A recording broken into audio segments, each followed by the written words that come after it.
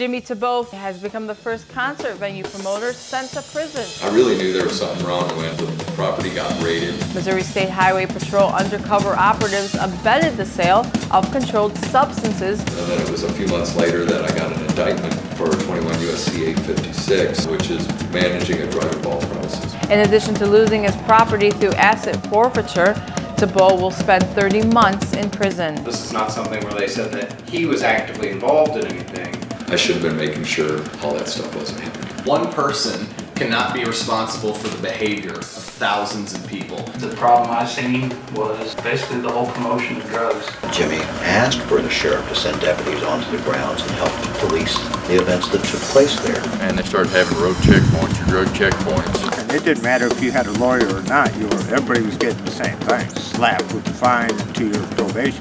People from all over the uh, country would show up at these events. We generated a lot of sales tax money. It was adding to the revenue of the county, which I operate my law enforcement. The motivation of some people was to show these dirty hippies who was boss and Turned our community off completely. They weren't after people, they were after the big picture. They were Counting on the people doing drugs just as much as Jimmy was counting on them coming to see the music. To have a full-on state and federal investigation There was IRS.